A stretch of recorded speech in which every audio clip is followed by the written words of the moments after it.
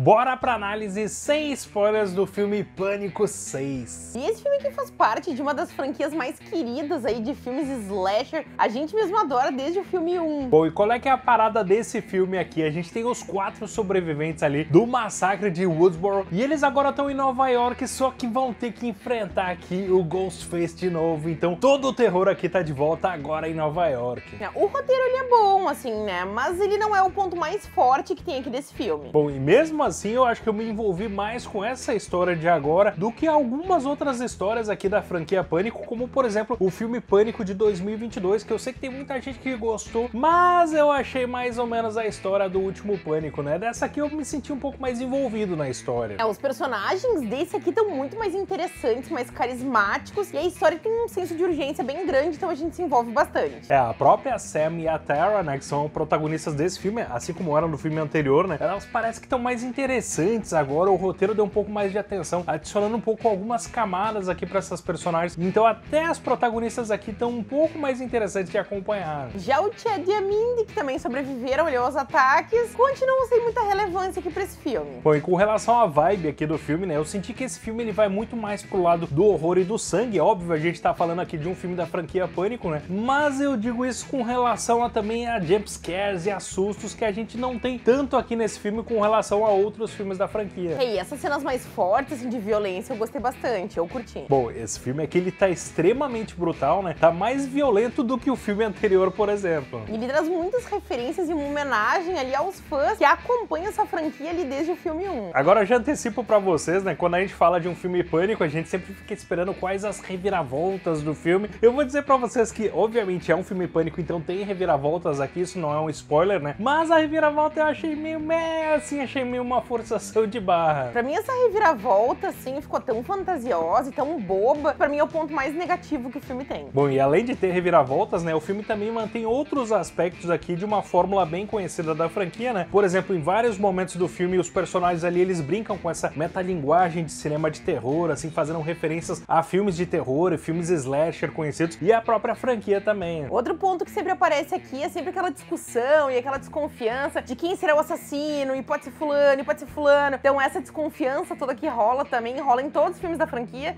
e aqui também não é diferente. É, os próprios personagens, eles meio que se veem como se estivessem num filme de terror, eles fazem esse exercício de especular quais revelações que vão aparecer, quais reviravoltas na história deles mesmos que vai acontecer. Isso aqui não é diferente nesse filme também. E antes da gente continuar esse vídeo, já se inscreve no canal e clica no sininho para não perder nenhum dos nossos vídeos. Se inscreva em todas as redes sociais, a gente tem assim, Instagram e TikTok com vídeos bem curtinhos que a gente tem postado bastante conteúdo original por lá. Tem Discord para bater papo com a gente e se inscreva aqui no nosso canal do YouTube, né? Bom, e lembrem também de dar um like aqui nesse vídeo que é importantíssimo pro canal. E quero lembrar vocês também que vocês podem ser membros apoiadores aqui do Bulldog Nerd e com isso vocês têm acesso a benefícios exclusivos aqui do canal. Os diretores são Matt Tyler, que também dirigiram o filme Pânico de 2022. É, Eles realmente focaram agora num filme extremamente violento, mais brutal, mais sanguinolento do que um filme mais focado em sustos e jumpscares agora. É um slasher ali com tripas pra fora, buscando cenas com muito mais horror. Bom, e a sensação que a gente tem também é que o elenco tá um pouco mais preparado, um pouco mais confiante nesse filme de agora. A Melissa Barreira, que faz aqui a Sam, eu achei ela realmente muito mais natural aqui nesse filme. Eu tinha achado ela super artificial no anterior e eu achei ela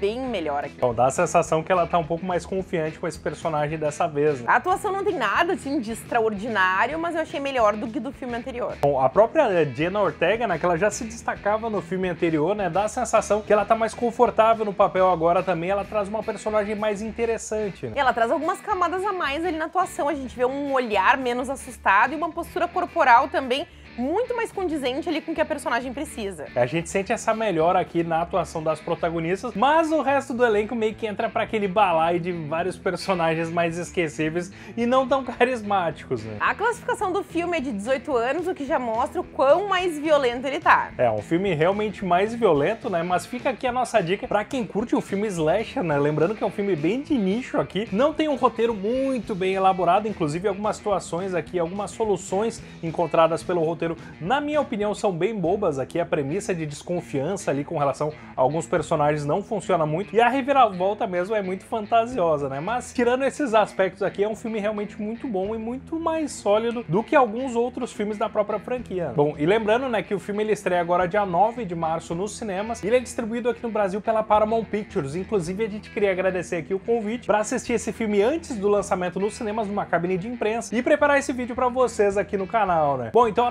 nossa nota final para o filme Pânico 6 é 4. Lembrando que as nossas notas vão de 1 a 5 e seguem os nossos critérios de avaliação. Então se tu concorda, não concorda, comenta aqui embaixo, dá um like e te inscreve no canal para ficar por dentro dos próximos vídeos. E até a próxima!